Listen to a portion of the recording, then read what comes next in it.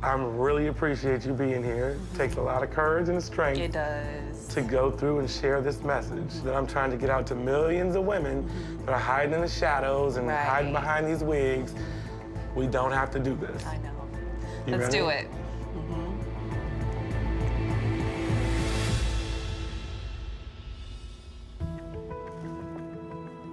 Wow, so that is completely stuck to your edges. Is it?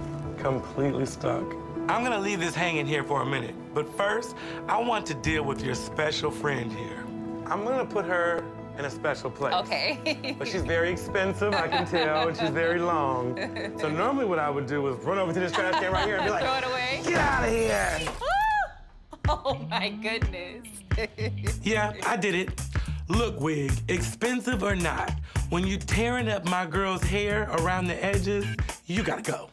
Looking at you like this, really honestly, I how feel it- ugly. It makes you feel ugly? But what would bring that on?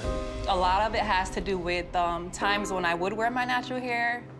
My mom and my sister would make fun of me. What do you mean make fun of you?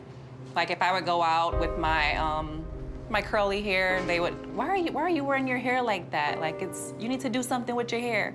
My mom would say, You're going out with your hair like that?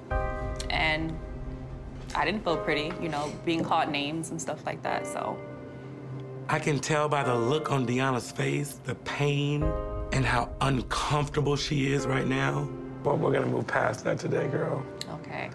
You are a beautiful, drop dead, gorgeous African American woman.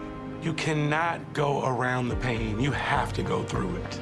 And to be honest with you, I think it's your self doubt that's holding you back, not your hair.